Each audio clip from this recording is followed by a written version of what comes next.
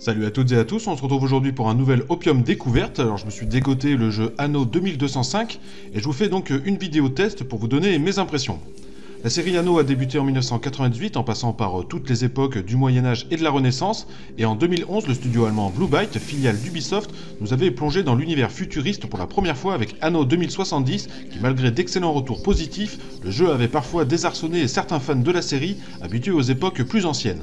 Cette fois, Blue Byte nous revient ce 3 novembre avec la sortie d'Anno 2205, où notre but sera de coloniser ni plus ni moins que la Lune. Anno est une série de jeux de gestion-stratégie, et pour moi le mot qui me vient à l'esprit pour un jeu de gestion c'est la rejouabilité et la durée de vie infinie. On va voir qu'Anno 2205 en est complètement dénué.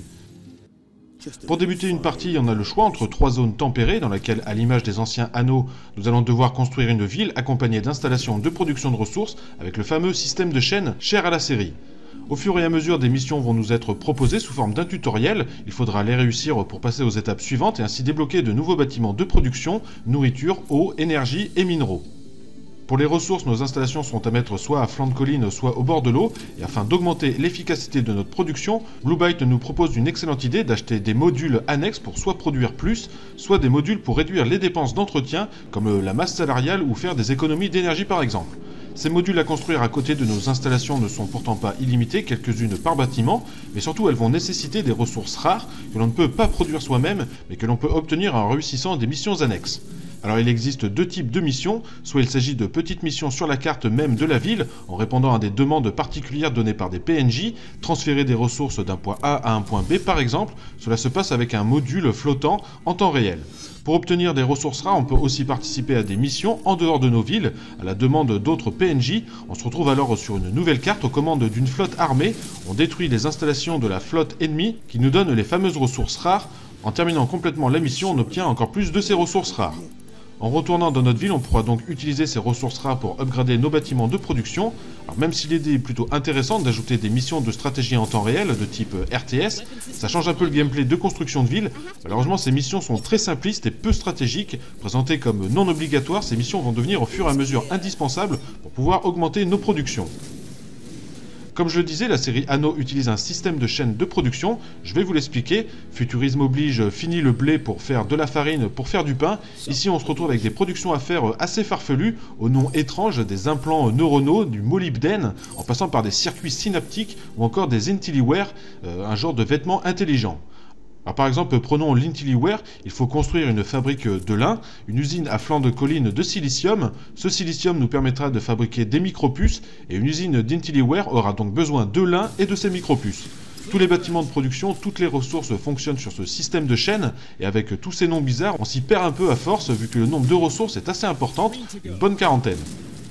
Alors au niveau des habitations, elles sont 4 fois upgradables. Par exemple, pour la zone tempérée, on commence avec des ouvriers, puis des opérateurs, puis des cadres, pour finir avec des habitations d'investisseurs.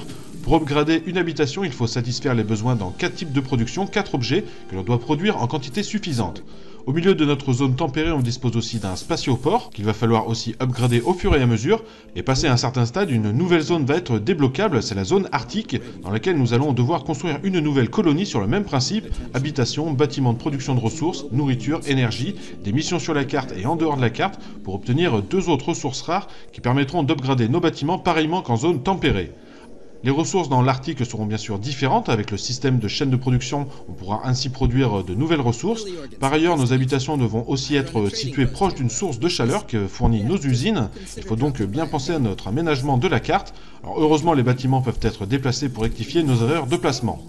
Par ailleurs, se déroulant dans le futur, la pollution n'existe pas, si bien qu'on peut sans problème construire nos habitations à côté des usines sans que cela gêne. Il faut juste parfois un petit peu anticiper nos placements d'usines si on veut par la suite leur ajouter les modules de production. Toutes nos industries étant pour la plupart dépendantes des autres, il faudra sans cesse surveiller la quantité produite pour satisfaire les demandes des habitations. Plus tard, pour débloquer des bâtiments dans la zone tempérée, il faudra produire certaines ressources dans la zone arctique, et donc c'est là qu'intervient le commerce. D'une manière très basique, on choisit la ressource, la zone de départ et la zone d'arrivée, le nombre de ressources à envoyer, et les trajets se font automatiquement. Un marché mondial en ligne est aussi présent, répondant à l'offre et à la demande. Petite nouveauté, alors que les versions précédentes de la série Anno, il y avait toujours deux zones de jeu, climat tempéré et savane pour Anno 1701, Occident et Orient pour Anno 1404, île et plateau sous-marin pour Anno 2070, ici on aura droit à trois zones, puisque comme je le disais, le jeu est basé sur la conquête et la colonisation de la Lune, ce sera donc cette troisième zone. Même principe que dans les deux autres zones, pour les habitations et les industries, upgrade à l'aide de ressources rares, ici on devra développer notre colonie à l'abri des météorites en construisant uniquement sous un dôme protecteur. Voilà en gros comment se passe le jeu, on passe d'une zone à l'autre pour développer nos productions qui viendront accélérer le développement des autres zones grâce au commerce et ainsi au fur et à mesure débloquer un à un les différents bâtiments. voyons voir maintenant un petit résumé point par point, on va commencer par les graphismes, ceux-ci euh, sont d'une excellente qualité, les détails des bâtiments, les animations à chaque upgrade ou construction, les différents zooms sur la carte, l'interface très claire, tout est brillant. Malheureusement le jeu n'est pas optimisé du tout, ça rame beaucoup, alors j'ai un petit PC de 4 Go de RAM, hein, mais j'ai vu sur internet que beaucoup euh, avaient aussi ce problème d'optimisation. Le jeu est beau, mais peut-être trop beau pour un jeu de gestion. De plus, il faut attendre un certain temps de chargement à chaque fois qu'on change de zone, qui est assez barbant à la longue. Plusieurs cinématiques sont aussi visibles quand on se lance dans une mission, quand on upgrade notre spatioport. Ces cinématiques sont vraiment bien réalisées. Pour la musique, celle-ci est plutôt bonne, une musique calme dans le ton d'un jeu de gestion, sans fioritures auditives qui cassent les oreilles. Les PNJ parlent, plusieurs langues sont disponibles, ce qui est plutôt agréable. Et on en vient au point qui fâche. D'abord, le multijoueur est absent, malgré la présence d'un marché mondial. Mais bon, passons. Par contre, en introduction, j'évoquais la rejouabilité et la durée de vie de Anno 2205. Comme je le disais, pendant la campagne solo, on va devoir suivre une sorte de tutoriel, réussir euh, ce qu'on nous demande de construire pour progresser, développer nos colonies et débloquer de nouveaux bâtiments. Mais en fait, toute la campagne solo va suivre ce tutoriel. Si on veut débloquer quelque chose en dehors des sentiers battus, euh, ce sera pas possible, il faut suivre le tuto. Ajoutez à ça la non-possibilité de sauvegarde manuelle, le jeu enregistre tout seul la partie, si bien que si vous faites une erreur, vous ne pouvez pas revenir en arrière à une ancienne sauvegarde, il faut soit détruire tout ce que vous venez de faire, soit euh, recommencer la partie à zéro et de fait le tuto euh, à zéro. Alors vous allez me dire, pas de problème, puisque comme dans tout euh, bon jeu de gestion, il y a un mode bac à sable où l'on peut construire ce qu'on veut, quand on veut, dans une totale liberté. Eh bien je vais vous répondre que non, il n'existe pas de mode bac à sable dans Anno 2205, ce qui reste pour moi une hérésie dans le monde du jeu de gestion. Alors bien sûr, la campagne solo dure assez longtemps. Moi-même, après une bonne douzaine d'heures de jeu sur une partie solo, j'en étais arrivé au point où on vous demande de construire un QG corporate nécessitant 150 euh, 000 habitations de type investisseur. Autrement dit, un bâtiment qui va nécessiter encore plusieurs heures de jeu. Le temps de construire toutes les habitations, de les upgrader, de construire tous les bâtiments annexes, l'eau, la nourriture, l'énergie, et répondre à tous les besoins de nos habitations. Et donc aussi construire ce qu'il faut dans les deux autres zones, hein, les ressources nécessaires pour upgrader nos habitations. Autant dire que ça fait quand même pas mal d'heures de jeu. J'ai pas poussé le jeu plus loin que cette demande du QG Corporate. Ça ressemble a priori à la fin de la campagne solo, mais j'en suis pas sûr. Est-ce qu'après le jeu abandonne le tuto et devient bac à sable? Aucune idée non plus. Du coup, vous l'avez compris, le jeu n'a pas vraiment de rejouabilité, puisque si on recommence une partie, elle se déroulera à peu près de la même façon que la précédente, puisque l'on suit le tuto à chaque fois. Heureusement, trois zones tempérées sont disponibles au début. Quand on débloque la zone arctique, on peut choisir entre trois autres cartes à la difficulté croissante. Et pareil pour la colonisation de la Lune, on a le choix entre trois cartes, ce qui augmente quand même la durée de vie, mais bon, assez artificiellement. Alors je finis cette vidéo avec euh, mon avis personnel après avoir euh, assez détaillé le gameplay du jeu pour vous faire une idée.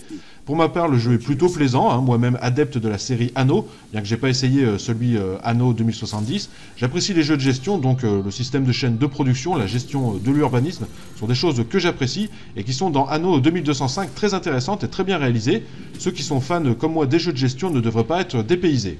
Le jeu m'a paru par contre d'une énorme facilité, non seulement parce qu'on suit le tutoriel pas à pas, qui nous dit exactement ce que l'on doit faire, on est un peu pris par la main tout au long du jeu, et autre chose étonnante, quand notre argent arrive à zéro, on reçoit instantanément de l'argent, euh, dont on ne sait où, euh, on ne sait pas trop comment, mais cela nous permet de continuer la partie euh, facilement, trop facilement peut-être, puisqu'en fait il ne faut pas vraiment gagner de l'argent en bien gérant nos colonies, car sinon notre crédit augmente trop doucement, il faut dépenser rapidement afin d'atteindre zéro pour avoir encore plus d'argent. Alors j'ai pas trop compris d'où venait cet argent gratuit.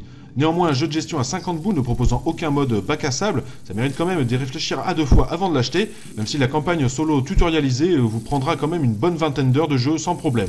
La série Anno, parfois réputée pour sa difficulté dans la gestion et la stratégie, Blue Byte et Ubisoft ont-ils décidé de rendre le jeu plus accessible aux novices en détruisant un néant tout type de challenge, y compris dans les missions en temps réel avec notre flotte, pas super intéressante à jouer mais malheureusement indispensable pour avancer dans le jeu. Voilà, c'était Opium Découvert sur le jeu Anno 2205. J'espère que ça vous aura plu. N'hésitez pas à liker, euh, commenter et partager votre expérience du jeu si vous l'avez essayé. Merci de votre attention. Je vous dis à bientôt pour une prochaine vidéo. Ciao